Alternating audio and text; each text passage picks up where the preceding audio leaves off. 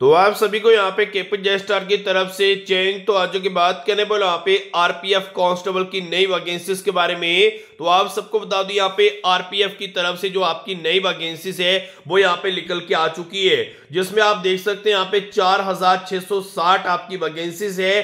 मैं आपको बता दूँ यहाँ पे तीन चार दिन पहले जो जो वैकेंसीज थी वो यहाँ पे निकाली गई थी लेकिन यहाँ पे मैं आपको बता दूँ यहाँ पे आरपीएफ की तरफ़ से भी यहाँ पे पहले बोले आ, बोला जा रहा था कि जो जो वैकेंसीज है वो यहाँ पे फेक है और भी यहाँ पे बहुत सारी न्यूज़ निकल के आ रही थी सभी यहाँ पे यही सोच रहे थे कि ये जो वैकेंसीज है वो यहाँ पे फेक है लेकिन यहाँ पे अब जो ऑफिशियली नोटिफिकेशन है वो यहाँ पे जारी किया गया है कि ये जो वैकेंसीज है वो यहाँ पे बिल्कुल रियल है और मैं आपको बता दूँ यहाँ पे आरपीएफ की तरफ़ से आप खुद यहाँ पे देख सकते हैं कि रेलवे प्रोटेक्शन फोर्स की तरफ़ से आपकी जो 4660 वैकेंसीज है, वो यहाँ पे निकाली गई है। आरपीएफ कांस्टेबल के लिए आपकी 4208 वैकेंसीज रहेंगी, जिसके लिए आपकी टेंथ पास जो क्वालिफिकेशन है, वो यहाँ पे मांगी गई है। कोई और यहाँ पे कुछ नहीं मांगा गया। ओनली सिर्फ़ आपकी टेंथ पास होनी चाहिए। अगर आप सिंपल टेंथ पास होंगे तब भी आप इस वैकेंसीज के लिए अपना जो ऑनलाइन फॉर्म है, वो यहाँ पे लगा पाएँगे।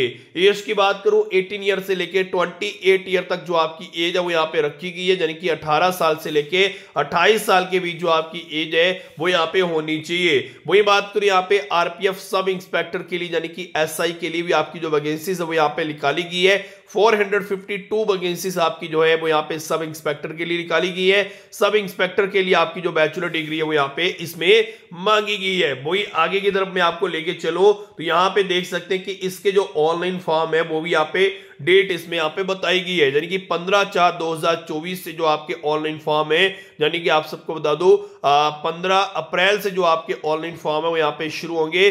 चौदह पाँच दो हज़ार चौबीस इसकी जो लास्ट डेट है, वो यहाँ पे रहने वाली है।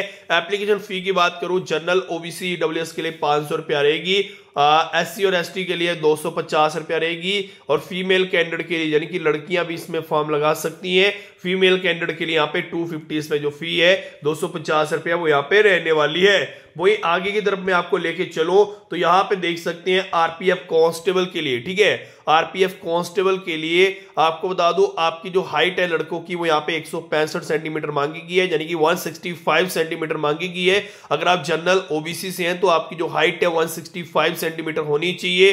अगर मैं आपको बता दूँ, अगर आपकी कैटेगरी एस सी या एस टी है तो आपकी जो हाइट है 160 यानी कि 160 सेंटीमीटर यहाँ पे होनी चाहिए। वही बात करूँ, यहाँ पे फीमेल की तो लड़कियों के लिए जो हाइट है वो यहाँ पे, अगर कोई भी लड़की यहाँ पे जनरल ओबीसी से है तो उसकी जो हाइट है 157 सेंटीमीटर ली जाएगी। अगर कोई लड़की यहाँ पे एस सी या एस टी कैटेगरी से है तो उसकी जो हाइट है 152 सेंटीमीटर यहाँ पे ली जाएगी। रनिंग की बात करूँ, यहाँ पे आपको बता दू, लड़कों के लिए जो रनिंग है, वो यहाँ पे वन किलोमीटर करवाई जाएगी, यानी कि सोलह 1600 मीटर इसमें रनिंग करवाई जाएगी, जिसमें आपको फाइव मिनट और 45 सेकंड का जो टाइम है, वो यहाँ पे रनिंग के लिए मिलेगा। वही बात करूँ फीमेल की लड़कियों के लिए तो लड़कियों के लिए इसमें 800 मीटर जो रनिंग है, यानी कि 800 मीटर जो रनिंग है, वो यहाँ पे करवाई जाएगी, जिसमें यहाँ पे लड़कियों को थ्री मिनट और फोर्टी सेकेंड का जो टाइम है, वो यहाँ पे दिया जाएगा। अब बात करूँ यहाँ पे लॉन्ग जंप की तो लड़कों के लिए जो लॉन्ग जंप है, वो यहाँ पे 14 फीट रहेगा, लड़कियों के लिए यहाँ पे 9 फीट रहेगा, और भी यहाँ पे बात करूँ यहाँ पे लॉन्ग जंप की, ठीक है? यहाँ पे फोर फीट यहाँ पे जो बताया गया है वो यहाँ पे रहने वाला है। सॉरी मैं आपको बता दूँ, यहाँ पे जो लॉन्ग जंप है तो यहाँ पे नीचे जो जो है, ये हाई जंप आपका रहने वाला है, ठीक है? यहाँ पे इन्होंने गलती की हुई है कुछ एडिट करने में। तो यहाँ आपको बता दूँ, यहाँ पे फोर फिट आपका जो है, वो यहाँ पे हाई जंप रहेगा। लड़कियों के लिए थ्री फिट यहाँ पे जो हाई जंप है वो यहाँ पे इसमें रहने वाला है। इस चीज़ का यहाँ पे ध्यान रखिएगा। वहीं दूसरी तरफ़ मैं आपको बता दूँ सब इंस्पेक्टर की भी जो हाइट है जो आ, सब कुछ है वो यहाँ पे बिल्कुल सेम सेम ही है ठीक है? तो यहाँ पे देख लीजिए। बस सब इंस्पेक्टर में जो रनिंग है वो यहाँ पे मैं आपको बता दूँ 1.6 किलोमीटर है लेकिन रनिंग में जो टाइम है वो 6 मिनट और 30 सेकंड का यहाँ पे मिलेगा। ये बदलाव है।